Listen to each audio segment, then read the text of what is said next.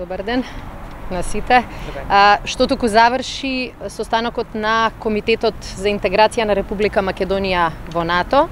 на кој заедно со клучните министри, клучните луѓе кои работат на овој процес, ја финализиравме програмата за продолжување на реформите во Република Македонија, чија цел е нашата земја час поскоро да стане земја членка на НАТО.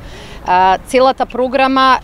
е резултат на завршените пристапни разговори со НАТО. Во неа се вградени забелешките, прашањата, дилемите кои што беа отворени во целиот овој процес но земајќи предвид дека состанокот во октомври и крајот на пристапните разговори на вистина беше многу ефикасен и успешен, не беше тешко да се финализира програмата. Ова е на вистина стратешки темелен документ кој што покажува дека точно знаеме кој процес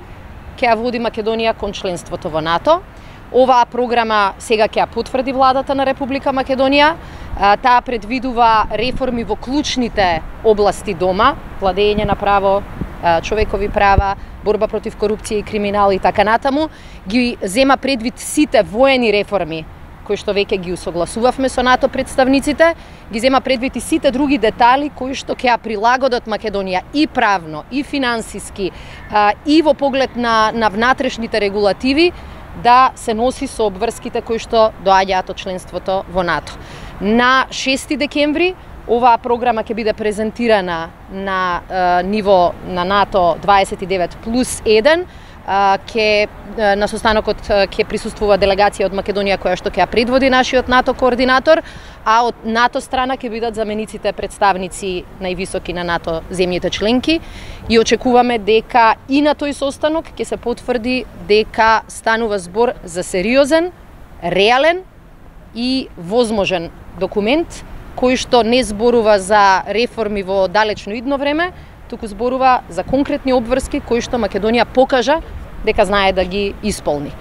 Со тоа ги отвараме шансите на почетокот на следната година, значи во првото три месече на 2019 да имаме заокружен протокол за пристапување во НАТО. Од тој момент Македонија ќе функционира како